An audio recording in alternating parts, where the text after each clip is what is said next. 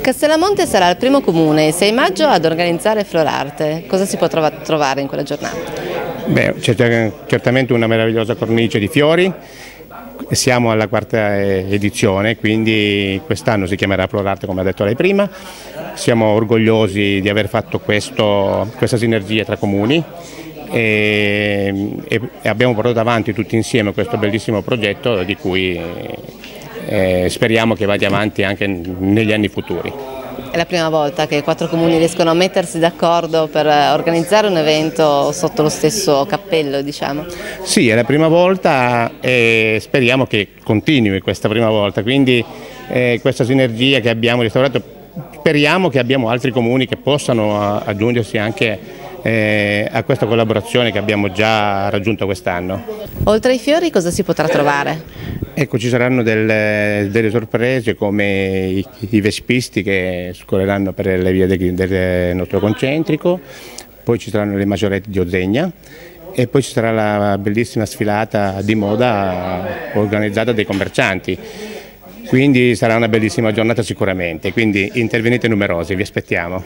Nasce una sinergia tra i quattro comuni del Canavese per organizzare Florarte. Sì, è nata una sinergia, in alcuni mesi a questa parte stiamo, ci stiamo incontrando con gli assessori di Castellamonte, Rivarolo e Favria per mettere insieme un certo numero di manifestazioni e non solo. Stiamo lavorando su anche un settore eh, diciamo, più commerciale e turistico per il canavese per promuovere il nostro territorio perché sia un evento unico e riconosciuto in, le, in tutta la nostra provincia di Torino ma anche oltre perché gli eventi che si organizzano non bisogna più avere il campanilismo del territorio ma bisogna portarli molto più avanti per portare la gente a far conoscere il nostro canavese. Finora se ne era sempre parlato ma nessuno aveva praticato con, eh, con Teodoro Leone e l'assessore di Fabria abbiamo portato avanti qualcosa che da anni sì, si parlava e adesso siamo arrivati a, ai primi passi. Quindi finalmente non ci saranno più eventi accavallati su comuni limitrofi? Eh, questo è l'inizio, speriamo che prosegua così con, nostri, con, questi quattro comuni, adesso ci sono altri comuni che vogliono unirsi su questo, chiamiamolo, asse turistico-commerciale del Canavese, con i primi quattro comuni che hanno aderito. Man mano che si va avanti si sta già parlando anche con altri comuni di aderire per l'iniziativa le settimane sono 52 durante l'anno, si può trovare 52 manifestazioni diverse su tutti i comuni ma che abbiano la sinergia e lo scopo unico di dire il canavese c'è ed esiste, è un territorio vasto ma si può conoscere in tutto il mondo. A Cornier Florarte si terrà il 13 maggio, qual è il programma? Cosa si può trovare?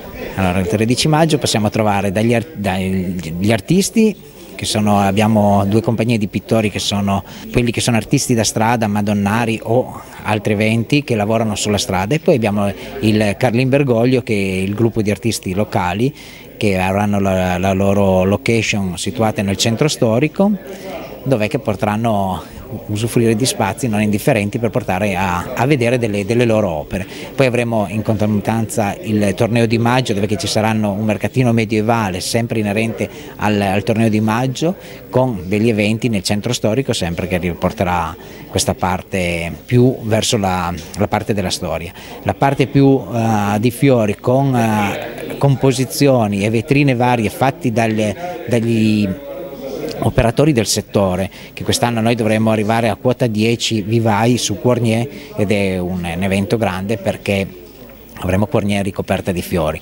Noi come nei confronti di altri comuni abbiamo già l'esperienza di più anni di aver praticato questa manifestazione, diciamo a tutti i nostri operatori, quelli che vogliono partecipare, di, di fare in fretta perché i posti sono eh, limitati, perché noi abbiamo il nostro territorio suddiviso su tanti eh, tante strisce di, di, via dove che ogni striscia sarà depositato un produttore e un vivaio per fare la, la manifestazione.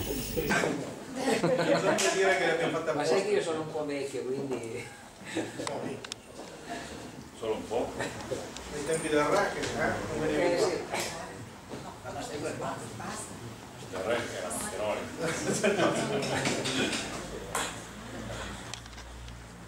Poi il re ce l'abbiamo, non è pignatura. Eh,